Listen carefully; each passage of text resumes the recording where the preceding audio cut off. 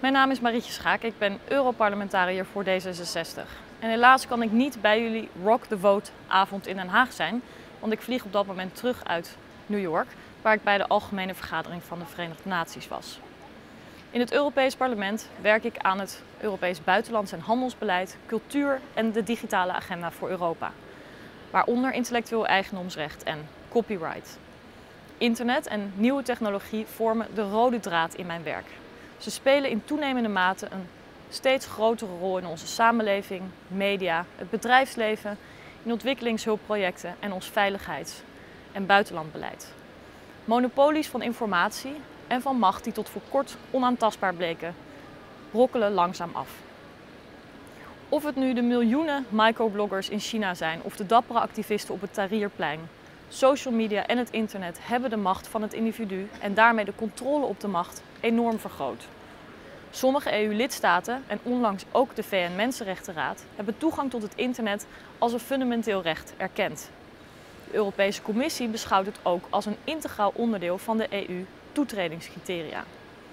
D66 was in 2010 de eerste partij in Nederland die internettoegang als fundamenteel recht opnam in haar verkiezingsprogramma. In een wereldwijd verbonden wereld moet de EU een strategie hebben om zowel onze digitale vrijheden als die van anderen te bestendigen en te beschermen. Technologie die autoritaire regimes gebruiken om mensenrechten te schenden, hebben helaas veel te vaak een Made in Europe label. Het monitoren en opsporen van bloggers, journalisten of dissidenten of het inbreken in hun e-mail of social media accounts is aan de orde van de dag. Het gaat hier niet alleen om technologie, maar de context is ook belangrijk in deze discussie. Het concept van legale interceptie van telefoon- of internetverkeer dat we in Europa kennen en zelfs juridisch verplichten, heeft geen enkele betekenis wanneer de rechtsstaat in een land ontbreekt. Ook op VN-niveau zien we bewegingen om internettoegang te beperken. Coalities van bedrijven en overheden werken samen om nieuwe reguleringsvoorstellen voor internet voor te stellen. Terwijl juist het gebrek aan regels en bestuur de grote innoverende kracht voor verandering op het internet en door het internet heeft laten floreren. Over één week is het Internet Governance Forum in Baku, Azerbeidzjan. Daar zal ik met een delegatie van het Europees Parlement aandacht vragen voor dit soort problemen. Gelukkig hoef ik me niet alleen met problemen bezig te houden en biedt het internet vooral enorme kansen voor mensen, bedrijven en politici. We zagen de kracht van sociale media in Tunesië en Egypte, maar ook al in 2009 in Iran. Dit jaar zorgden enorme online protesten tegen Amerikaanse en Europese wetsvoorstellen die het open internet bedreigden, ervoor dat deze voorstellen uiteindelijk geen wet werden. Online protest was essentieel bij de afwijzing door het Europees Parlement van ACTA. Jullie hebben me daar enorm bij geholpen.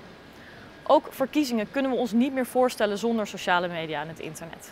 Tijdens mijn eigen campagne in 2009 voor het Europees Parlement bereikte ik via Facebook en Twitter de meeste mensen. Dat was destijds nog relatief nieuw.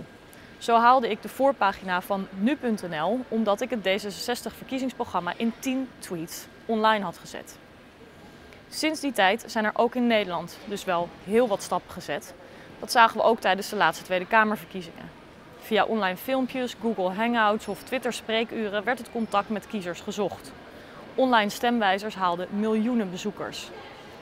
Maar het is toch tijdens deze presidentsverkiezingen in de VS dat het gebruik van social media en internet met speciale apps opnieuw naar een nieuw niveau zijn gebracht. De Obama-campagne was in 2008 natuurlijk al enorm succesvol om kiezers via het internet op de been te brengen en een grassroots fundraising campagne op te zetten. De Republikeinen hebben inmiddels ook het spelletje onder de knie, maar het zijn toch de Democraten die steeds vernieuwen. Zo kan iedereen die wil uh, campagne voeren voor Obama via een app die down te loaden is en aan de hand van openbare informatie een kaart samenstelt waarop potentiële Obama-kiezers zijn aangegeven. Iedereen kan deze Obama for America app downloaden en zien wat de politieke kleur van zijn buurman is. Het komt erg dichtbij. Een enorme batterij aan data die we op social media achterlaten, worden door de campagne verzameld, geanalyseerd en dat vormt de basis voor de campagnestrategie.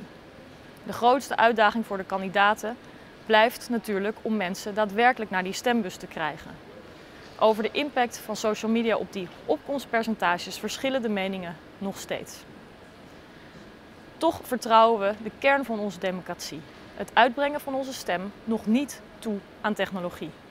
Problemen met stemcomputers maken ons voorzichtig. Kiezers hebben meer vertrouwen in potlood, papier en een handmatige telling. In de toekomst zal dat toch langzaam gaan veranderen, denk ik.